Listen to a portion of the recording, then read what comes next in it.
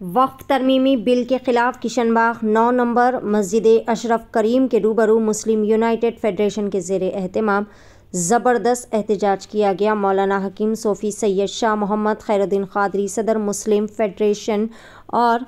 मोहम्मद अब्दुल करीम फ़हीम मुतवली मस्जिद ने मरकज़ी हुकूमत से मुतालबा किया कि मुस्लिम दुश्मनी पर मबनी बिल वापस ले ले और फौरी तौर पर तमाम के साथ इंसाफ करे और तमाम अपोजिशन जमात से इस बिल की मुखालफत करने की भी अपील की गई। पेशस खसूस में चंद मनाजिर असलकम रहमतुल्लाहि वरकत नाजरीन कराम आज मस्जिद अशरफ करीम के पास Muslim United Federation, all India सूफीमा council, Muslim leader conference, Al Karim test की जानब से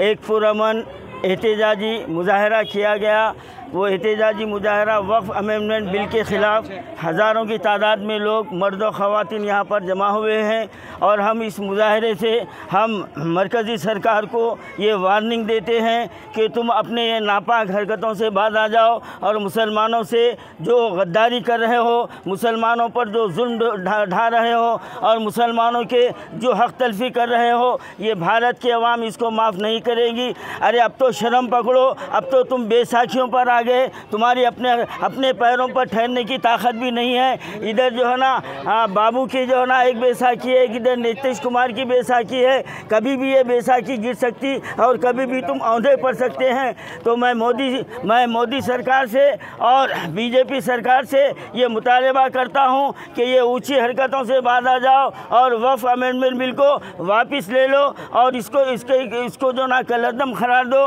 ये हमारा मुतालबा है। और मैं तमाम भारत भारत के मुसलमानों से मैं अपील करता हूँ कि गली गली कूचा कूचा हमको इसके ख़िलाफ़ पूरा एहतजाज हमको पुरमन मुजाहरा करना है, एहतजाज करना है, ताकि जो ना ये मोदी सरकार को हमारी ताकत का अंदाज़ा हो जाए, हमारी एकजहती का अंदाज़ा हो जाए। आज हम यहाँ से, मस्जिद अशरफ करीम से, मुस्लिम यूनाइटेड फेडरेशन के इस बैनर से हम तमाम मुसलमानों को, भारत के अवाम को ये पैगाम देना चाहते हैं।